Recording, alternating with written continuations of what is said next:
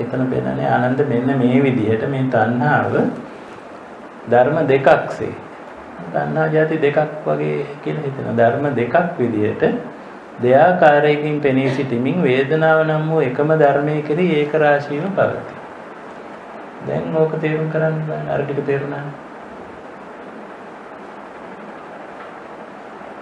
වේදනාව නම් වූ එකම ධර්මයේ කෙරෙහි එතන වේදනාව එකයි අර්ථ දක්වලා තියෙන වේද විඳීම් කියන දේ. ඒ කෙරෙහි තණ්හාව දෙයාකාරයකින් දෙකක්සේ පෙනී සිටිනවා. ඔය මෙතෙක් දේශනා කරපු ටිකේ සාරාංශය. දැන් මේ ඒ සාරාංශය අහුණාද හිතට? මොකද්ද දෙයාකාරය?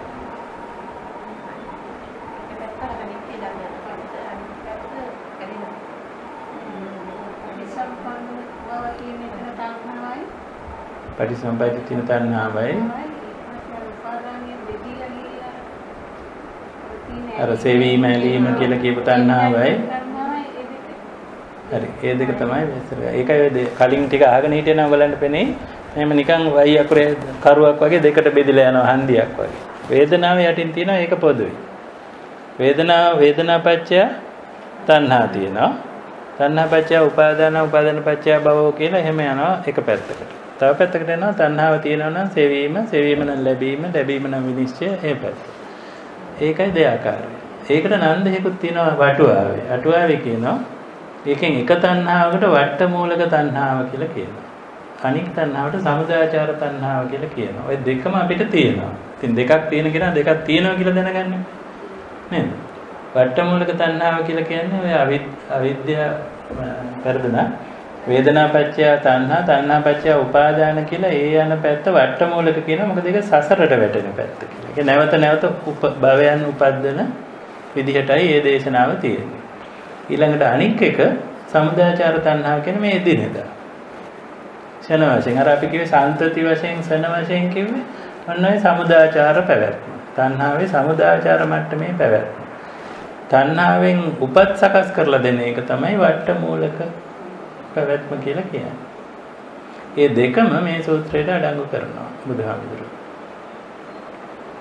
අන්න එහෙම මේ සූත්‍රය තේරුම් ගන්න ගොඩක් ගැඹුරු සූත්‍රයක් කියලා කිව්වේ ඒකයි. දැන් පැහැදිලිද? වට මූලික කියන්නේ සසර වට සසර රවුමට වැටෙන. සසර රවුමට වැටෙන ආකාරයෙන් තණ්හාව ක්‍රියාත්මක වෙනවා. ඊළඟට සමුදාචාර කියන්නේ මේ එදිනෙදා පැවැත්ම විදියට.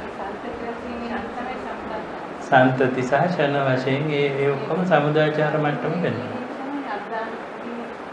අධ්‍යාන කියන එක වගේ භව වශයෙන් අර වගේ උපද්දිදී අපිව ගෙනියන එක ඒක වට්ටමූලක කියලා අටුවාවේ මේ විදිහට මේක විස්තර කරලා දෙනවා. මොකද මේක ඊටා කෙටියෙන් මේ වාක්‍යය තියෙන බුදුහාමුදුරුවෝ. පාලියෙන් නම් හරිම කෙටි. හිමේකෝ ආනන්ද ද්වේ ධම්මා. ද්වේන වේදනාය ඒක සමසරණ බවති. වේදනාය ඒක සමසරණ කියන වේදනා කියන එකම ධර්මය අරමුණු කරගෙන තණ්හාව ද්වේ ධම්මා දෙආකාරයකින් ක්‍රියාත්මක වෙනවා. ඒකෙන් කියන්නේ තණ්හා දෙකක් ගැන නෙමෙයි. තණ්හාවේ ක්‍රියාකාරීත්වයන් දෙකක් ගැන කියන්නේ. තණ්හාව මේ එදිනෙදා මොහොතක් පාසා මෙහෙම ෂණ වශයෙන් සම්තති වශයෙන් ක්‍රියාකාරකමින් ජීවිත පැවැත්මක් තියෙනවා. ඒ ජීවිත පැවැත්මට අමතරව අලුත් අලුත් ජීවිත ලබා දෙන තව පැවැත් තව ක්‍රියාදාමයකුත් සන්තණ්හාවෙන් සිද්ධ වෙනවා. ක්‍රියාවන් දෙකම සිද්ධ වෙමින් තියෙනවා අපි මේ කතා කරන අතරතුර. ඔයගොල්ලන්ගේ ජීවිතවල මේ මං කියන දේ අහගෙන ඉන්න අතරතුර ඔය පැවැත්මවල දෙකම තණ්හා ඔය දෙආකාරයකින්ම ක්‍රියාත්මක